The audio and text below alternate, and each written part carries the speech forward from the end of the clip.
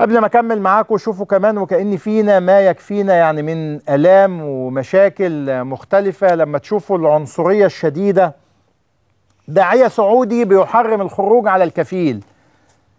بيقول إيه بقى؟ ليس منا من يحرض عبدا على سيده.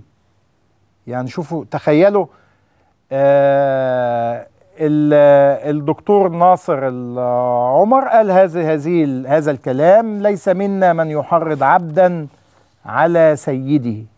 العامل عبد في مفهومه والكفيل السعودي سيد.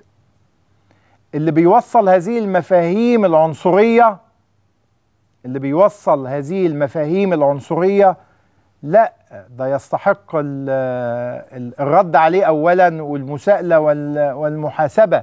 يعني وأنا أثق ده حتى السلطات السعودية اللي بنتكلم معاها وكل ما بنلتقي مسؤولين بنكلمهم.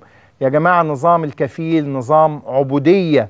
وهو بيتناقش معاك ويقول لك والله نظامنا كده وإحنا يعني بنحاول نخفف من آثاره نناقشهم ونقول لهم نظام عبودية. فيقوم يطلع يطلع إنه إنه من يعطي بقى هنا مظلة إسلامية على نظام الكفيل ويؤكد إنه آه نظام عبودية والعامل عبد والكفيل السعودي هو سيد واللي هيحرض عبدا على سيده مش مننا.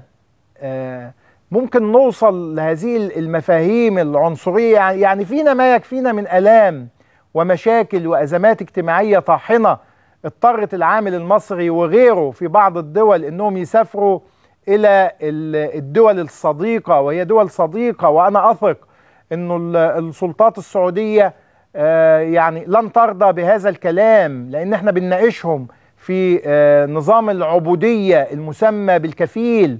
وبقول لهم خلاص هو من حقهم إنه يعمل القانون اللي هو عايزه ومن حقنا إحنا كمان إن إحنا نقول يا جماعة ده نظام عبودية ما تيجوا نتناقش فيه كيفية تغييره تعديله تبديله. فيقوم يطلع لنا اللي يقول لك إن الإسلام بيقول ما هو ما هو داعية شهير. فهيبقى الإسلام بيقول إنه العامل عبد والكفيل السعودي سيد.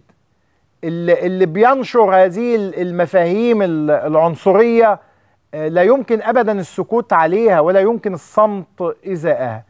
أنا أوضحت لأنه كمان دي صفعة وهنا بقى صفعة بتوجه باسم الدين والدين منها بريء باسم الإسلام والإسلام. اللي حرر الإنسان من العبودية لا يمكن ابدا انه يقبل هذا الكلام اللي مش عايز أوصفه